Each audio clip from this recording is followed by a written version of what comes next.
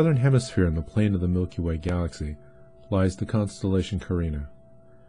As we zoom into this portion of the sky, we see an inset image of the Carina Nebula taken by NASA's Hubble Space Telescope. This image is one of the largest panoramic images ever taken with Hubble's advanced camera for surveys.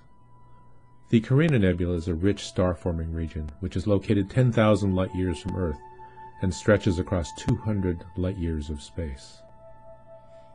The bright massive star in the center of the nebula is Eta Carina, whose high-energy radiation and winds have pushed back against the surrounding hydrogen and dust, sculpting pillars and denser areas which facilitate the formation of new stars. Eta Carina is more than a hundred times the mass of the Sun, and its gravity can barely contain the fusion process. In its recent past, Eta Carina grew incredibly bright, comparable to that of a supernova, but didn't blow itself apart. The light from this event reached Earth around 1843 and persisted for a few years afterwards. This recent close-up Hubble image shows the result of that explosive event.